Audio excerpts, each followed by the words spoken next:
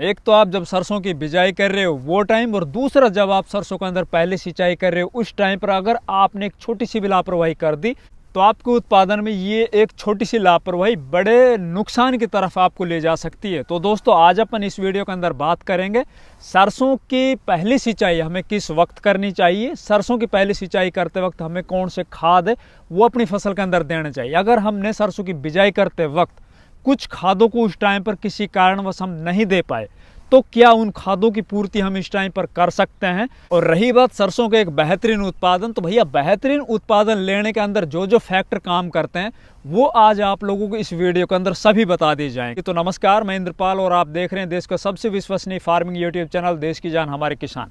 दोस्तों, अगर अभी तक आप लोगों ने इस चैनल को सब्सक्राइब नहीं किया है तो प्लीज़ चैनल सब्सक्राइब कर लीजिए और साथ ही वीडियो को लाइक और दूसरे किसान भाइयों तक भी शेयर कीजिए। सबसे पहले अपन बात करते हैं भैया, सबसे मेन टॉपिक कि सरसों के अंदर पहली सिंचाई हमें किस समय करनी चाहिए? अक्सर इस भ्रम में रहते हैं किसान, उनको पता नहीं होता कि भैया पहली सिंचाई हमें किस टाइम पर करनी।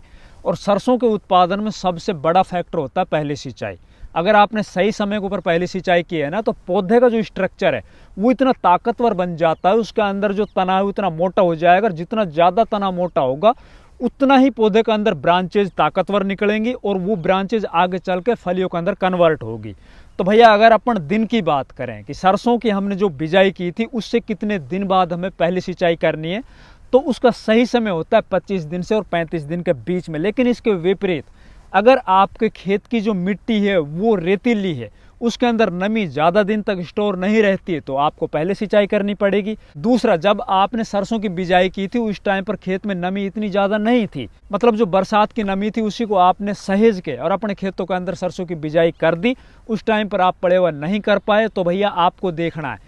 दिन के अंदर अगर सरसों के पौधे कुलमुला जाते हैं, वो घबरा जाते हैं, वो मुरझा जाते हैं। दूसरा, पौधों को जो रंग है, वो हरे की बजाय आपको नीला दिखाई दे रहा है। पौधे को जो टाइम पे तना है, वो फूलने की बजाय वो बिल्कुल पतला होता चला जा रहा है। एक सीख की तरह से वो ऊपर की तरफ़ चल रही।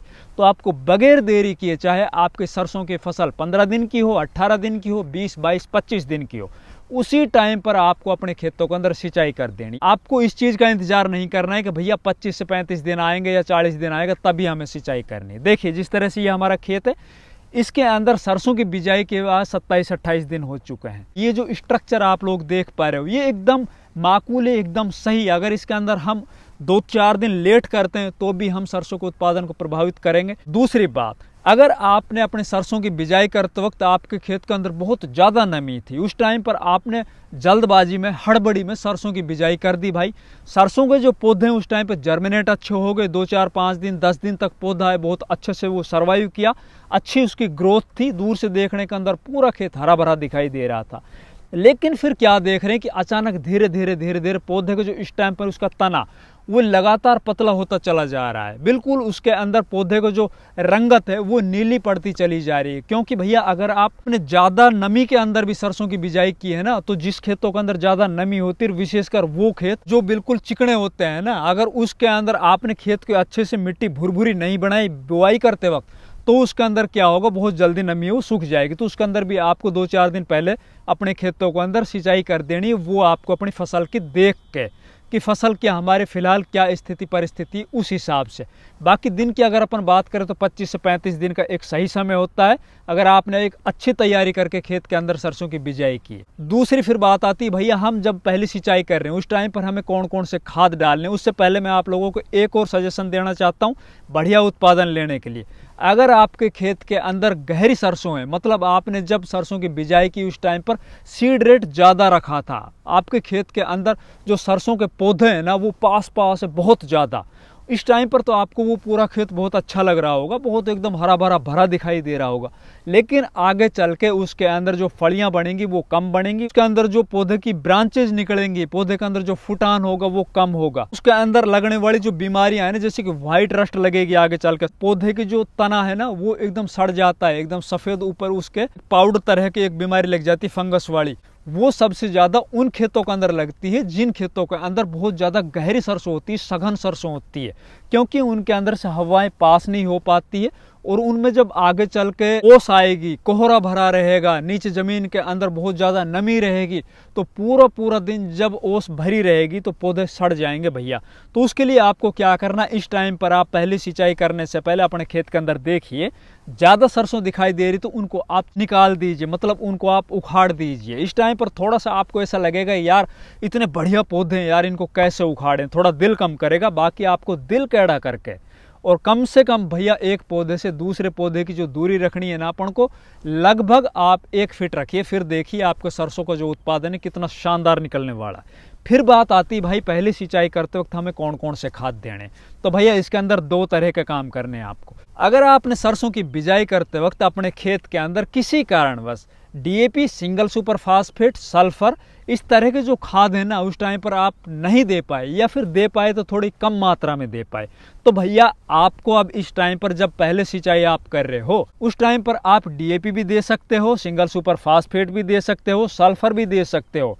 और अगर आपने उस टाइम पर पोटास नहीं दी थी तो भैया आप पोटास भी दे सकते हो इस टाइम पर। इन खादों को आप देकर सिंचाई करते हो तो भी आपको इनका 100 परसेंट रिज़ल्ट मिलेंगे। क्योंकि जो ये खाद आप ऊपर से छीटोगे ना तो छीटने के बाद देखिए आप कहाँ पे पड़ेंगे वो खाद? इस तरह से जो हमने अपनी मशीन से बिजाई कर रखी है ना तो वो यहीं पे पड़ेंगे, इनकी जड़ों के पास में आके पड़ेंगे। और जड़ों के पास में पड़ने से ऊपर से जब हम इसके अंदर सिंचाई करेंगे तो जो ये मिट्टी है ना, वो मिट्टी के अंदर दब जाएँगे पानी की वजह से। और वो पूरे टोटल जितने भी हमारे इन खादों के पोषक तत्व हैं, वो टोटल इन पौधों के जड़ों के पास चले जाएँगे। दूसरी बात, अभी इस टाइम पर इन पौधों की जो जड़ है ना, भाई मैं दिखाऊँ आप लोगों को, देखिए, उखाड़ के।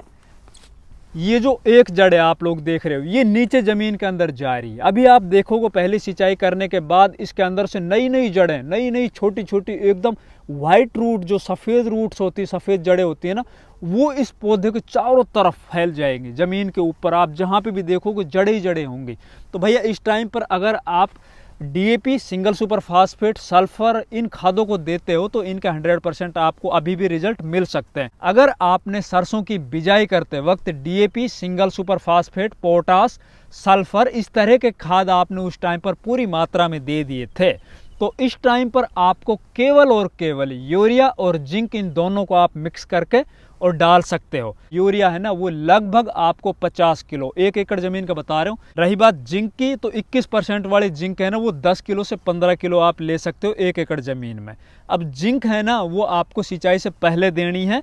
अब जिंक डालने के लिए आपको क्या करना है, लगभग 10 से 15 किलो या 20 किलो यूरिया ले लीजिए, उसके अंदर आप इस जिंक को मिला लीजिए। आप पूरे खेत के अंदर सिंचाई से पहले छिटक दीजिए, ऊपर से आप सिंचाई कीजिए। जिंक के आपको 100 परसेंट रिज़ल्ट मिलेंगे। बची हुई जो आपकी यूरिया की मात्रा है, वो आप सिंचाई करने के बाद ऊपर से डालिए, ताकि यूरिया है जो आपके जो खाते, वो लिंचिंग ना हो, नीचे ज़मीन के अंदर, नीचे गहराई में ज़्यादा ना जाए, उसके 100 परसेंट रिज़ल्ट मिल जाए। इसके बाद फिर जैसे ही हमारी फ़सल के अंदर पहले सिंचाई की हमें दो, चार, पाँच दिन हो जाए, खेत के अंदर हम अच्छे से घुस सकें, उस टाइम पर आपको एक और काम करना है, एक स्प्रे करनी है एन पी के उन्नीस उन्नीस उन्नीस या बीस बीस बीस की। ये स्प्रे बहुत ही ताकतवर स्प्रे है। सरसों के अंदर मेरे पिछले कई सालों के जो एक्सपेरिमेंट चल रहे हैं, उनके अंदर सबसे ज़्यादा अगर किसी चीज़ ने रिज़ल्ट दिया है तो भैया इन एन पी के के स्प्रे ने दिया। क्योंकि सरसों के जो पौधा है ना, वो बहुत चौड़ा है। इसके ऊपर जो भी अपन स्प्रे करेंगे फोलियर वो पौधा बहुत अच्छे से उसको ग्रहण करता है। और इसके जो रिज़ल्ट है ना, बहुत ही शानदार देखने को मिलते हैं। तो भैया, इस टाइम पर आप जब पहले सिंचाई कर रहे हो तो एन पी के उन्नीस उन्नीस उन्नीस या बीस बीस बीस का भी स्प्रे कर देना है। अगर आप माइक्रोन्यूट्रेंट भी इसके अंदर ऐड करना चाहते हो तो कोई भी बढ़िया कंपनी का लिक्विड माइक्रोन्यूट्रेंट आप इसके अंदर मिला सकते हो। फिर देखना आपके सरसों का जो उत्पादन है, वो शानदार से कहीं ज़्यादा शानदार मिलेगा। इससे आगे आगे सरसों के अंदर अपन को क्या कुछ करना है, वो भी मैं आप लोगों को वीडियो के माध्यम से बताता रहूँगा। अगर अभी तक आप लोगों ने इस चैनल को सब्सक्राइब नहीं किया तो प्लीज़ चैनल सब्सक्राइब कर लीजिए और साथ ही वीडियो अगर आप लोगों को पसंद आए तो वीडियो को ज़्यादा से ज़्यादा दूसरे किसान भाइयों तक भी शेयर कीजिए। धन्यवाद।